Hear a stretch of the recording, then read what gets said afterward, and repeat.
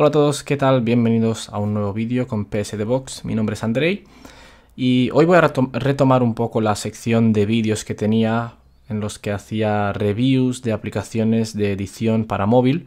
Esta vez os voy a, enseñar una, aplicación que realmente me ha sorprendido muchísimo. Creo que es una de las mejores aplicaciones que, he encontrado en años hasta ahora. Y mm, os voy a enseñar de lo que es capaz de hacer. Pero antes de empezar, si es la primera vez que ves uno de mis vídeos, me dedico a hacer tutoriales de Photoshop desde hace 10 años y también hago reviews como esta. Si te gusta el Photoshop, el diseño y las aplicaciones para editar fotos, eh, sígueme, eh, ve a mi canal, mira lo que subo y suscríbete para recibir notificaciones cada vez que subo un vídeo nuevo. Vamos con lo de hoy. La aplicación de la que estoy hablando se llama Pixaloop. Es posible que algunos de vosotros, si sois activos en Instagram, habréis visto quizás anuncios. Es como yo la encontré. Me puse en contacto con, la empresa.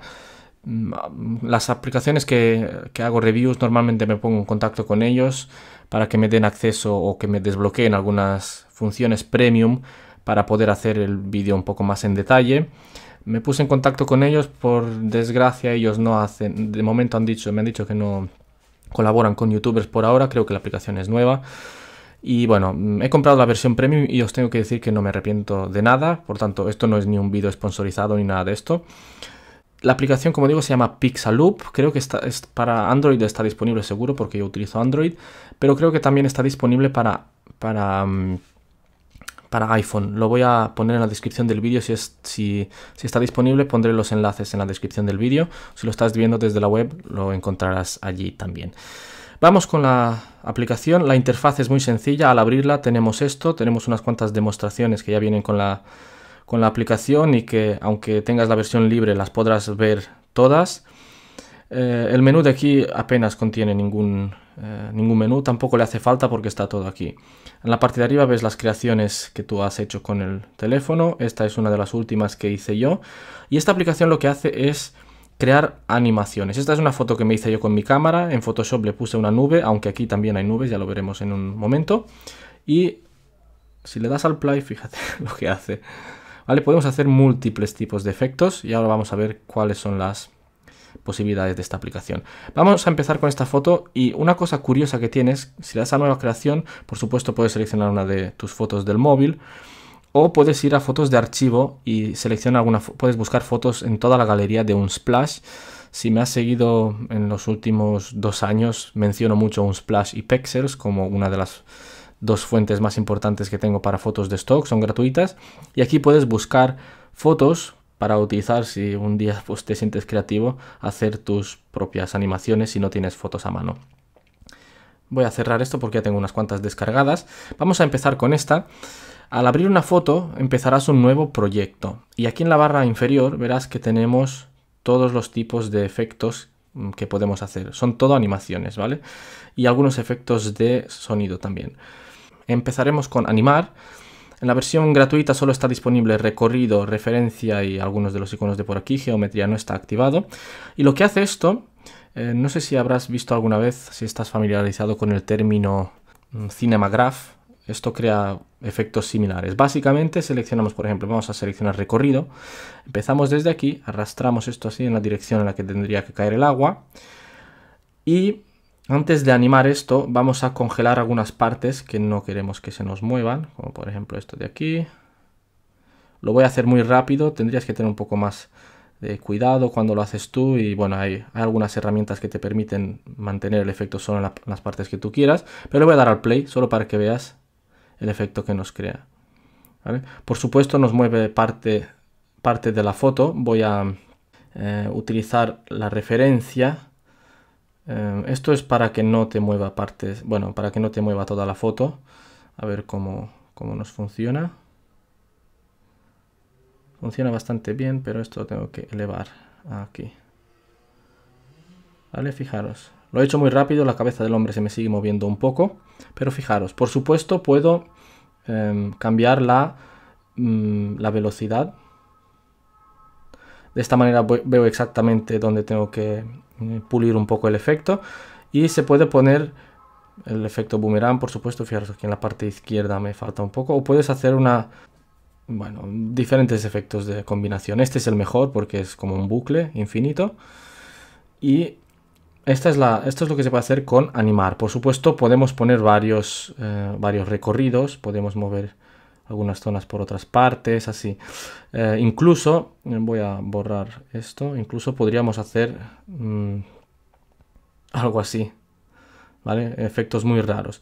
Con geometría, la, diferencia que hay entre esto y geometría, que no está activo en la, versión gratuita, es que podemos hacer distintos recorridos, ¿vale? Fijaros. Esto va bien, por ejemplo, si, tenemos fuego o tenemos partículas que queremos que se muevan en distintas, en distintas direcciones. Lo he hecho obviamente muy rápido y se ve muy raro, pero em, así es como, funciona lo de, lo de animar. Voy a dejarlo del recorrido porque esto, como digo, lo podemos combinar con, por ejemplo, efectos. El cielo lo vamos a ver después porque aquí no tenemos ningún cielo. Pero, por ejemplo, efectos. Aquí tenemos efectos de dispersión. Tenemos, em, bueno, básicamente dispersión y algunos, de, algunos destellos. Os voy a enseñar alguno de ellos. Este, por ejemplo, es de destello. Mm, podemos cambiar algunos ajustes, como por ejemplo la densidad o el tamaño de las partículas. Em, también tenemos este, tipo, este tipo de dispersión que utiliza la misma textura de la foto para crear estas partículas. Con, pinchando y haciendo con los dos dedos podemos aumentar como si hiciéramos zoom el tamaño de las partículas. Bueno, el tamaño hasta donde queremos que se vean estas partículas. Por supuesto el tamaño y la densidad. Mm, esto tiene forma de corazón pero se puede cambiar. Podemos tener diferentes formas incluso números, el símbolo del dólar o estrellas o simplemente em, partículas raras. Bueno, partículas random, fijaros. Creo que es bastante chulo. Haciéndolo así rápido se pueden hacer cosas bastante impresionantes sin perder mucho tiempo. Luego está la parte de elemento. Esto es muy chulo porque aquí podemos poner muchísimas cosas, pero vamos a utilizar otra foto para ello porque será más adecuada. Por ejemplo, Em, vamos a utilizar... Bueno, vamos a utilizar esta porque aquí podemos utilizar también lo del cielo. El cielo funciona con... Creo que funciona con... con inteligencia artificial, no sé qué iba a decir. Al seleccionar uno de ellos, fijaros cómo automáticamente me cambia el cielo él solito, sin hacerle yo nada. Podemos, por supuesto, cambiar el horizonte para mezclar esto un poco mejor con el cielo original y la opacidad si queremos que se vea algo del cielo original. Pero no solo eso, también está animado. Si le doy al play, fijaros, podemos hacer fotos en las que solamente el cielo se mueva. Fíjate, voy a aumentar un poco la opacidad. Es brutal. Ah, hay muchísimos cielos, no me los he bajado todos. En la versión premium hay muchos, como puedes ver. En la versión premium no sé cuántos cielos hay porque no los he comprobado, pero estos, por ejemplo, estos son mm, premium, estos con las auroras. Y son animadas, es impresionante. Otra cosa que tenemos aquí, como decía, son los elementos.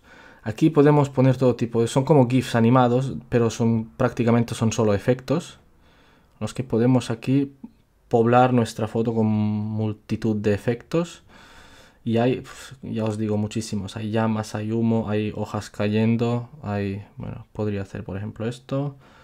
Alguna planta por aquí, no sé. No sé ni lo que estoy haciendo. Estoy poniendo cosas aquí random. Puedo poner estrellas fugaces. Eh, ¿Qué más? Voy a poner, pues no sé, algunas palomas volando por aquí. No sé por qué, pero hay palomas. Em, más ramas de árboles movidas por el viento. Mm, vamos a poner más elementos. Vamos a darle al más. Mm, hay, palomas, hay colibrís que puedes poner volando en tu foto.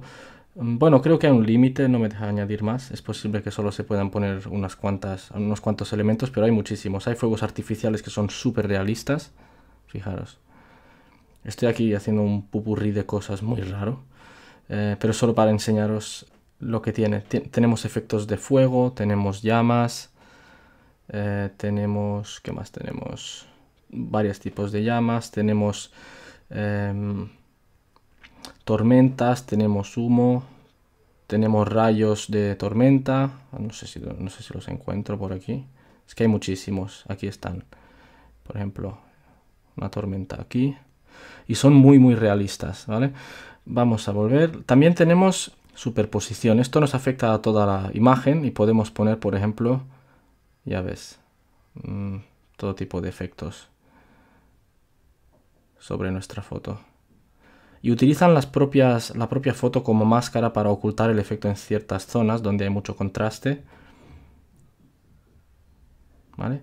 Hay, hay muchísimos también aquí, no los he bajado todos porque hace poco que me he bajado la aplicación, pero fijaros. Y podemos reducir, por supuesto, la opacidad y podemos poner pues distintos tipos de efectos aquí. Otra cosa interesante es que tiene ambiente. Aquí lo vais a escuchar aquí un momento. Podemos poner efectos. Estos son efectos de sonido. Voy a quitar la superposición porque me está cargando la animación aquí, me va lento. En ambiente podemos poner, por ejemplo, lluvia. Voy a subir el volumen. Vale, ponemos pájaros. Podemos poner más de uno, podemos poner varios. Y a cada uno le podemos variar el... Le podemos variar el volumen. Y pirotecnia, porque tenemos ahí los, los artificiales. Vale. Eh, es, muy, es, muy, es muy interesante esta aplicación. Y luego lo último que tenemos son efectos de cámara, que estos creo que no los he probado nunca. Te mueven toda la foto. Aún tengo el efecto ese de pirotecnia, pero fijaos, te mueve la foto entera con diferentes efectos. Es interesante que probéis las demostraciones para que podáis ver lo que realmente es capaz de hacer. Voy a abrir esta, por ejemplo. Son animaciones ya hechas y bueno, esta creo que la he modificado yo porque esto es muy raro. esto es muy raro. Voy a ir atrás, alguna, por ejemplo, la de la chica esta. Este de aquí es, también es bastante bonito, si no es que la... Creo que es posible que la haya modificado yo. Fijaros. Eh, voy a ir atrás. Esta es muy bonita, creo que la edité, no sé. Fijaros cómo le mueve el vestido y el pelo. Y hay alguna más que por aquí, que ni siquiera las he probado. Esta también.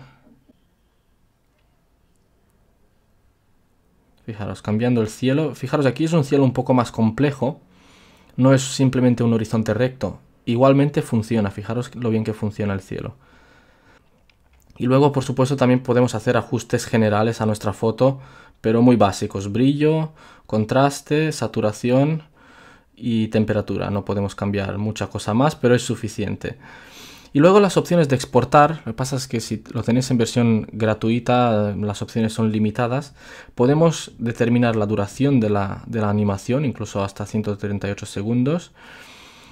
Podemos, eh, está optimizado para Instagram, de modo que si seleccionas Instagram te enseña el corte, puedes modificar esto como quieres que, que quede en Instagram o si lo pones en una historia también automáticamente te hace la vista previa para que puedas cortarlo como tú quieras y puede exportar incluso hasta 4K, por lo tanto es genial. También tiene para Snapchat, Twitter y Facebook. Puedes exportar como vídeo o también como GIF, como un GIF animado en diferentes relaciones de aspecto para que puedas subirlo a diferentes plataformas.